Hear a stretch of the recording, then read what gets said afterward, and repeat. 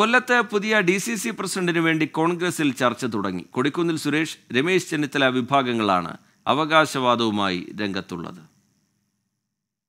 തദ്ദേശ തെരഞ്ഞെടുപ്പിന് മുമ്പ് തന്നെ പാർട്ടിയെ ശക്തിപ്പെടുത്തുന്നതിന്റെ ഭാഗമായാണ് ഡി സി സികൾ പുനഃസംഘടിപ്പിക്കാൻ കോൺഗ്രസ് ഒരുങ്ങുന്നത്. കൊടിക്കുന്നിൽ സുരേഷ് എംപിയുടെ നോമിനിയായ നിലവിലെ കൊല്ലത്തെ ഡി സി സി പ്രസിഡന്റ് ഇതിനോടകം തന്നെ തന്നെ ചുമതലയിൽ നിന്ന് മാറ്റണമെന്ന് ആവശ്യപ്പെട്ട് നേതൃത്വത്തെ സമീപിച്ചു കഴിഞ്ഞു.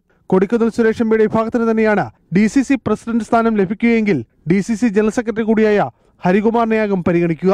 കെ സി വേണുഗോപാൽ പക്ഷത്തിൽ നിന്ന് പരിഗണന നൽകിയാൽ കെ പി സി സി സെക്രട്ടറിയായ എം എം നസീറിന്റെ പേരിനായിരിക്കും മുൻതൂക്കം ലഭിക്കുക. നീണ്ടകാലം ഐ ഗ്രൂപ്പിന്റെ കയ്യിലിരുന്ന ഡി സി സി അധ്യക്ഷ സ്ഥാനം തിരികെ വേണമെന്ന ആവശ്യവും ഇതിനിടയിൽ ജില്ലയിൽ തന്നെ ഉയർന്നിട്ടുണ്ട്. എങ്കിൽ Jyothikumar ചാമക്കാലയ്ക്കോ D C C vice president Arun രാജിന്റെയോ പേരിനാകും പരിഗണന ലഭിക്കുക. സംഘടനാ തെരഞ്ഞെടുപ്പിൽ ചെന്നിത്തല വിഭാഗം വിജയിച്ച ജില്ലയാണ് കൊല്ലം. എറണാകുളത്തും മലപ്പുറത്തും ഉൾപ്പെടെ ചെറുപ്പക്കാരായ ഡി സി പ്രസിഡന്റുമാർ പാർട്ടിയെ നയിച്ച സ്ഥലങ്ങളിൽ വലിയ മുന്നേറ്റം ഉണ്ടാക്കാൻ സാധിച്ച പശ്ചാത്തലത്തിൽ എല്ലായിടവും ആ മാറ്റം വേണമെന്നാണ് കോൺഗ്രസിലെ തന്നെ പൊതുവികാരം. എന്നാൽ കൊടിക്കുന്നിൽ സുരേഷ് എംപിയുടെ നോമിനിക്ക് തന്നെയാകും ജില്ലയിൽ അധ്യക്ഷ സ്ഥാനം ലഭിക്കുകയെന്നാണ് നേതാക്കളുടെ തന്നെ അടക്കം പറച്ചിൽ. ട്വന്റി കൊല്ലം.